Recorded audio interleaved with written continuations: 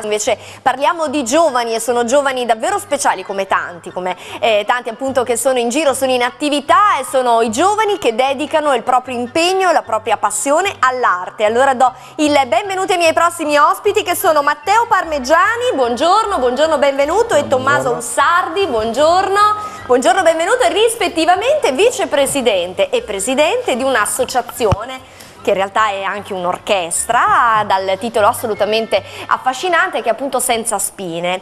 Un'associazione che è un bellissimo esempio di eh, integrazione innanzitutto perché è composta eh, da eh, giovanissimi rigorosamente al di sotto dei 30 anni provenienti davvero da ogni parte del mondo. questo perché questi ragazzi sono legati dalla passione per l'arte e per la musica in modo particolare ma in realtà rispondono anche a eh, una volontà insomma di eh, condivisione, di partecipazione, di attività nel campo della cultura che eh, insomma, sicuramente rappresenta una delle ragioni proprio eh, basilari dell'attività di questa, di questa associazione che è innanzitutto come si presenta, come nasce? Allora, è un gruppo di amici. Sì, innanzitutto. Quindi innanzitutto è questo. Infatti rigorosamente sotto i 30 anni non tanto per un limite imposto, ma semplicemente perché è il, eh, sono la, la comunità nel quale, nel quale, viviamo quotidianamente. Sì, Quindi sì. io ad esempio ne ho 29, lui ne ha 25. 25. Ecco, ecco, quindi meno male le, la fascia di età è dettata dalla, dalle amicizie che ci sono, che ci sono attorno e, e, anche il modo in cui è, è nata questa, questa, associazione è stato del tutto spontaneo.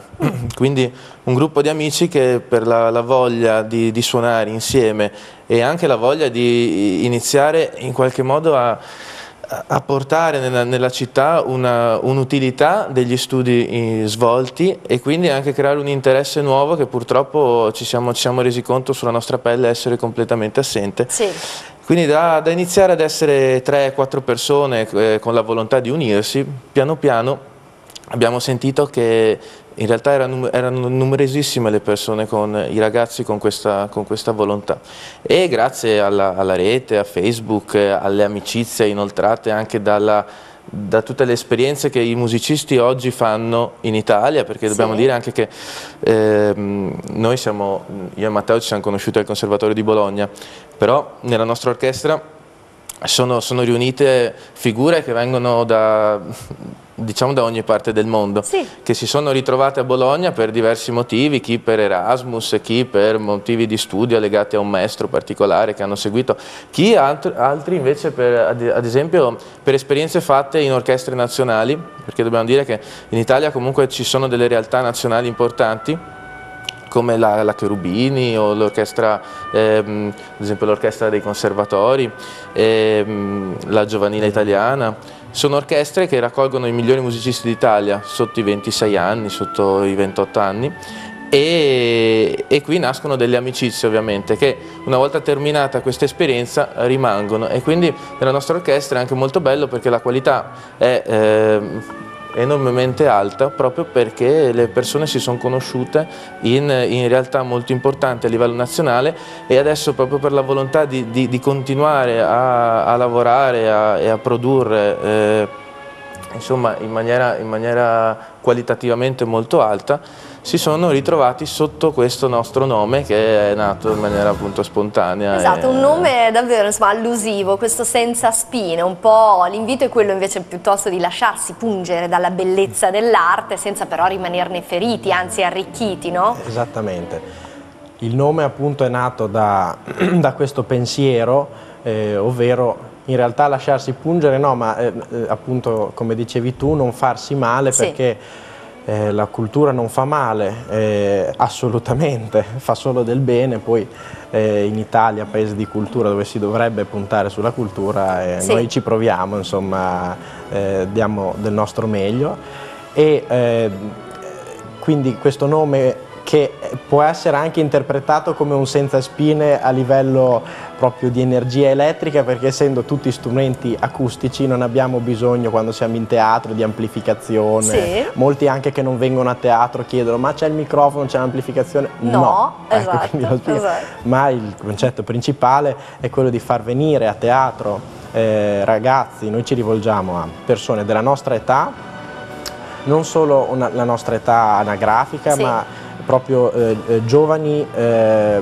persone che eh, diciamo, si sono poco avvicinate a questo, a questo mondo esatto. che fa paura che, eh, perché in teatro ci fa solamente gente esperta, non è vero, anzi eh, il teatro era vissuto centinaia di anni fa come un luogo di svago, un luogo di, eh, di, così, dove passare il tempo quando non c'erano altre tipologie di, di, di svago appunto e, eh, e, invece adesso eh, la gente ha timore a venire a teatro e se faccio un applauso nel momento sbagliato non ci si preparati esatto diciamo invece così. non è vero invece, perché ecco. soprattutto per quello che riguarda la musica proprio la musica è, è un qualche cosa di, di diretto distintivo eh, e se uno va a teatro senza preconcetti e assorbe eh, senza troppe troppi diciamo, costruzioni mentali esatto, sopra, esatto. Eh, riesce a, così, a, compiacersi di quello che ascolta senza sì. dover saper conoscere la musica a tutti i costi. Eh ecco. certo.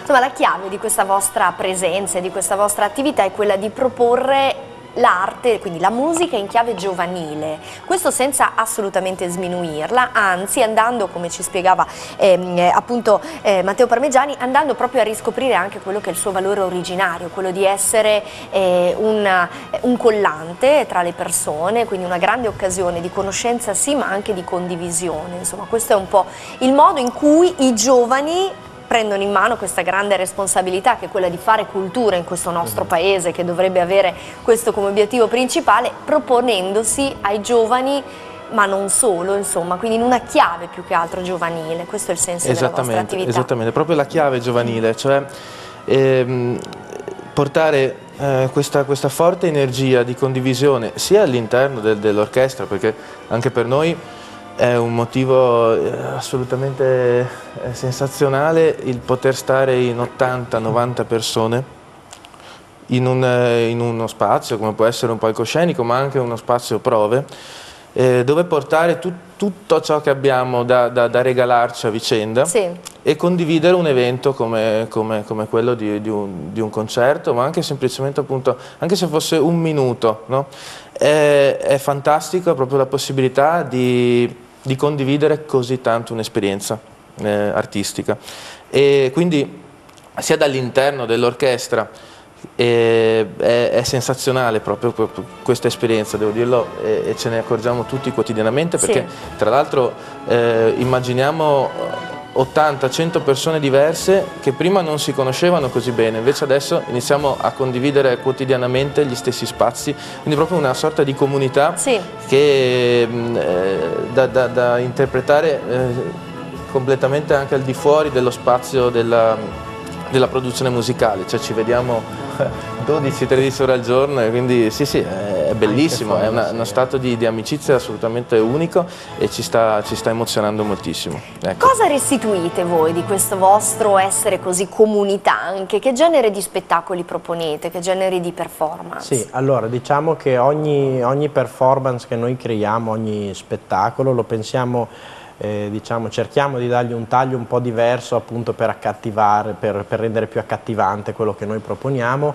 e adesso pensando agli ultimi spettacoli che abbiamo fatto eh, Innanzitutto c'è da dire che stiamo collaborando molto bene, siamo molto orgogliosi di questo con il Teatro Duse e il Teatro Manzoni di Bologna. Mm. Eh, entrambi ci hanno dato spazi, ci hanno dato modo di esibirci e devo dire anche con nostro grande entusiasmo c'era i teatri sempre pieni e quindi questo è stato molto appagante per noi e abbiamo fatto uno spettacolo a marzo che abbiamo intitolato Abracadabra sì. eh, dove suonavamo mh, musiche eh, molte tratte dal film, dal cartone animato Fantasia della Disney con giochi di luci, con la presenza di eh, attori e mimi che recitavano dei testi, quindi un connubio tra musica e poesia e, e recitazione appunto e, e quello lì è stato uno spettacolo appunto un po' diverso dal normale eh, qui sto vedendo invece le immagini di, del primo concerto che abbiamo fatto sì. al Duse, era una sorta di concerto di Capodanno, allora ci eravamo immaginati, facevamo dei brani di Tchaikovsky e di Strauss, e allora ci eravamo immaginati questi due autori che si incontravano. Che si, incontravano. E poi abbiamo fatto, Tommaso ha diretto eh, un concerto al Manzoni a metà aprile, si chiamava Promenade, facciamo quadri da un'esposizione, allora ci, eh, di, di Musoschi, di, di Mussoschi orchestrato da Ravelli, allora ci immaginavamo questa passeggiata tra i due autori e, eh, e quindi stiamo pr praticamente cercando di confezionare delle cose un po' particolari e, e appunto diceva prima Tommaso i giovani, e devo dire con grande orgoglio che il primo concerto importante che abbiamo fatto al Teatro Manzoni è stato a settembre e l'abbiamo fatto in occasione dei 90 anni del liceo Righi di Bologna, un liceo storico sì. e quindi era stato quello lì un grandissimo, un meraviglioso inizio perché c'era eh, tutto il teatro pieno di ragazzi del liceo che si sono divertiti, erano entusiasti, erano, eh, avevamo fatto eh, la suite dal Lago dei Cigni, avevamo fatto un concerto per pianoforte e orchestra con un ragazzino di 15 anni, Nicolas Giacomelli, che suonava e quindi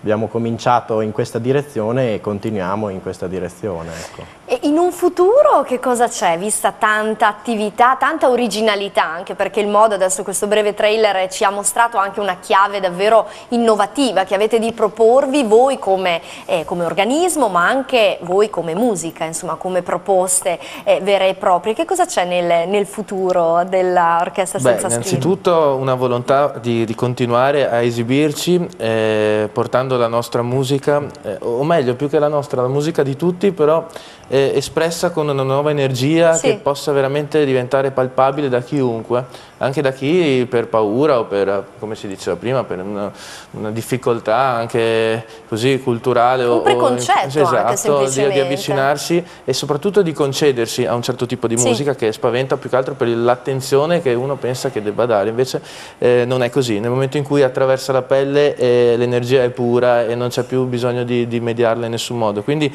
portare questo, questo genere di spettacolo dappertutto, dai teatri alle piazze o ai centri meno meno consueti come abbiamo già fatto perché abbiamo, ecco ad esempio sta andando, sì.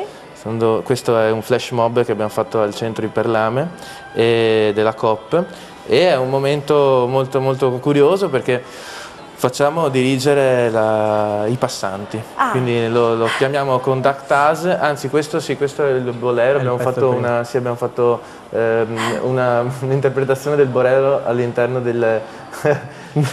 E quindi andate tra le corsie, esatto, esatto, tra le corsie a intercettare esatto, potenziali direttori esatto. d'orchestra. Oppure sì, ecco, sì. oppure abbiamo anche nelle piazze, facciamo questo genere di spettacoli che funziona moltissimo perché la gente si trova coinvolta in, una, in un evento del tutto inaspettato ah, certo. e, e, pensiamo sia un'esperienza stupenda, ad esempio anche per i bambini, cioè immaginare bambini di, di 5-6 anni che si trovano inseriti in un'orchestra di 50-60 elementi. Eh certo. E non ho idea come tornino a casa, cioè con, quale, con quale immagine Abbiamo già occhi. fatto parecchi conductas, eh, tre o quattro almeno, e bambini che vengono no, con la bacchetta, e poi il divertente sta appunto nel fatto che poi noi ci alleniamo per seguire il direttore, eh non certo. è che poi ah, partono e vanno da soli, certo. in realtà e quindi succede di tutto, è sì, molto spassoso. Quindi sì, continuiamo, continuiamo, a proporre questo genere di spettacoli e devo dire che mm, è talmente...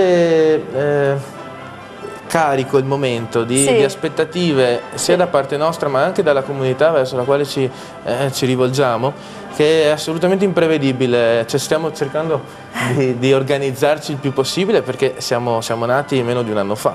E Giovanissimi quindi, quindi, in tutti i sensi. Sì, siamo, il primo concerto l'abbiamo fatto a fine maggio dell'anno scorso e, e, in un anno abbiamo già fatto 12 concerti, neanche in meno di un anno, meno quindi un anno. una produzione notevole, sì. assolutamente anche come dire, esagerata, ma proprio perché abbiamo un, un tale entusiasmo e, e, sentiamo che siamo, cioè, sta funzionando questa, esatto, questa nostra Evidentemente proposta. anche la risposta insomma, sì, che vi giunge, beh, vi conferma insomma, diciamo, di, quando, di teatro, poter... quando vediamo lo, la schermata di, una, di, una, di un teatro sì. uh, vuota, eh, che, insomma, come al Duse o al Manzoni che sono sono 1000-1200 posti e abbiamo quest'ansia di doverla eh riempire. Certo. è, sempre, è, sempre, una gran paura, ma poi quando ci troviamo lì con la, con la platea piena e, e, tutto il teatro pieno è una sensazione bellissima e ci dà appunto l'energia per, per continuare e per andare avanti.